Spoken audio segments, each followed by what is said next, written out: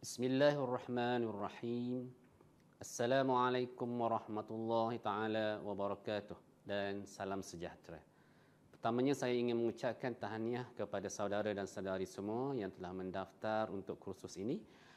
Kami uh, pensyarah daripada Fakulti Perubatan Universiti Sultan Zainal Abidin Kuala Terengganu, Uniza akan menggunakan platform pembelajaran secara maya ini untuk membincangkan satu topik yang relevan dengan kita semua terutama apabila mengalami penyakit ataupun menguruskan ahli keluarga kita Uh, berkaitan dengan isu-isu perubatan yang sememangnya boleh mempengaruhi ibadah kita.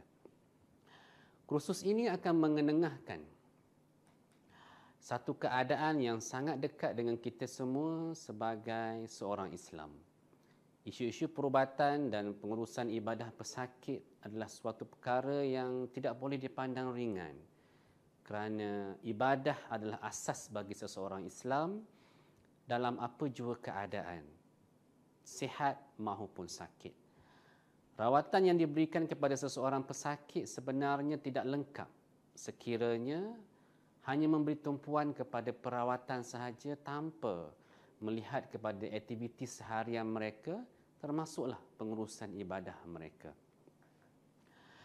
Bahagian pertama ini uh, saya akan memberikan pengenalan secara ringkas berkaitan dengan isu-isu perubatan yang boleh mempengaruhi ibadah seseorang terutamanya seorang seseorang pesakit.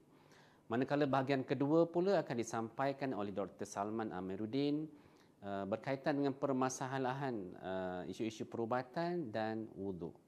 Manakala bahagian ketiga akan diterangkan oleh Profesor Dr. Harmi Muhammad Yusof dan uh, bahagian keempat akan diterangkan oleh Dr. Wan Muhammad Razin berkaitan dengan penyakit yang sering dihadapi serta permasalahan pengurusan ibadah berkaitan dengan penyakit-penyakit tertentu yang sering dihadapi oleh pesakit dan juga supaya ahli keluarga dapat membantu pesakit untuk menghadapi keadaan ini dengan lebih baik.